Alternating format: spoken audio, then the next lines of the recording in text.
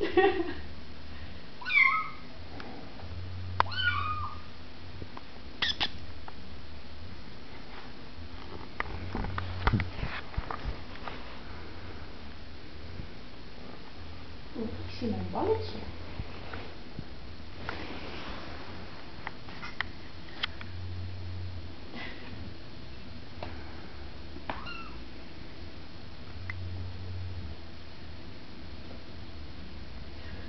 Ze is nu echt aan het proberen wat ook speelbaar is, hè?